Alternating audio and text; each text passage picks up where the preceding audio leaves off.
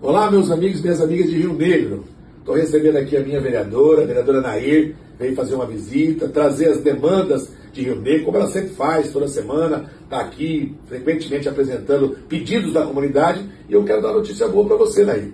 Aquela emenda de 100 mil reais que você pediu para o nosso gabinete já foi lançada e deve ser paga essa semana, que vai ser para adquirir dois playgrounds para atender a população de Rio Negro, as crianças, nossas crianças de Rio Negro. Então deve ser paga essa semana, assim que for passado o recurso lá para a prefeitura, vai ser adquirido esse playground, nós vamos lá tá Vamos para lá inaugurar esse playground. Mas queria dar essa notícia para você e mais uma vez parabenizar pelo seu trabalho, a dedicação, o empenho. Tem vários pedidos seus que estão em andamento, como por exemplo a iluminação do acesso da entrada e a saída do município, que já está na, na para licitar, como o Centro da Melhor Idade, que também tem recurso destinado do deputado Beto Pereira, que nós falamos com ele também. Tem também a iluminação da, do Sete Placas, que também está em andamento também na AGESUR. Então, são vários investimentos para o Rio Negro que tem o DNA, o pedido, a parceria com a, com a vereadora Nair. Parabéns pelo seu trabalho, Nair.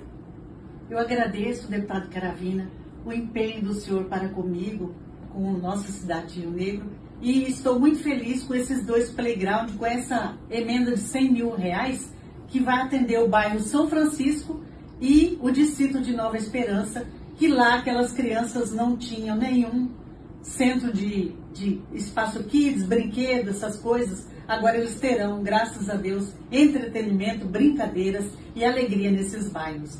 E também essas outras emendas que a gente está aguardando em breve. Eu sei que eu serei atendida pelo nosso governador Eduardo Riedel e pelo deputado Caravina. Muito obrigada. Conta comigo. Obrigada.